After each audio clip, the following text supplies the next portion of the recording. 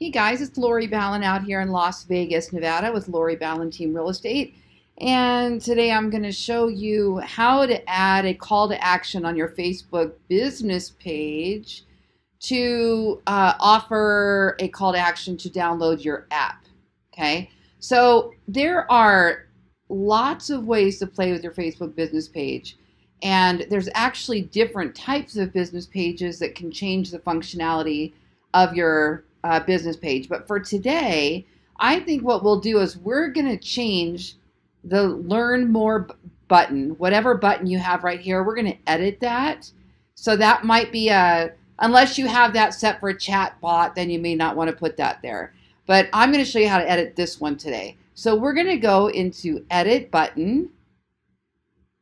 All right, now here's our options. They can book with me, contact me, learn about my business, shop with you, download my app, or join the community. So we're going to go ahead and go with download the app, and we're going to choose use app next.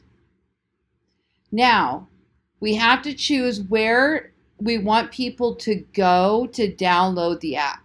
Okay, so you need to have your app URL. So there's a couple places, there's many places to get it. Uh, one is to actually go through the Kelle Guide.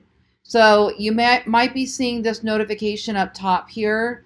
If you click there, you're going to get to Kelle Guide. And here's the URL for that Kelle Guide. I will, um, in case you can't see this, I'll put it in the video. So it's agent.kw.com slash command slash Kelle Guides slash consumer dash settings. All right, just so that you know. So if you click get started, and then you go to next, you're going to get to a page here that actually, when you click Start, is going to give you your app URL. You're just going to copy that URL and you're going to paste it right here in the Facebook. Oops, wrong one. That's my flower subscription box. It said copy, but it didn't copy, did it?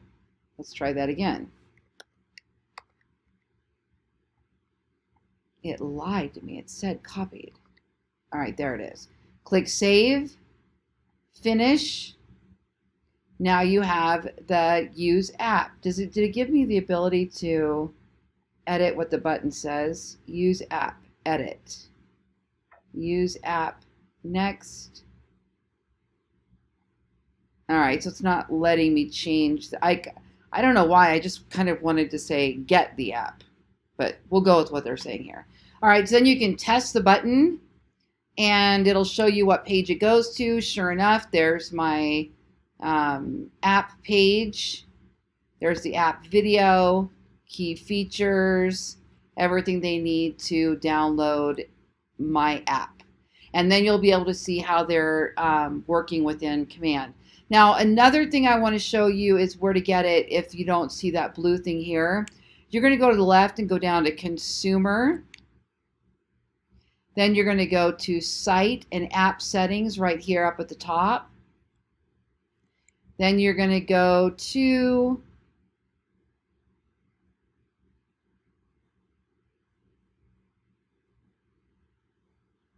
URLs right here, URLs. And then here is your app URL.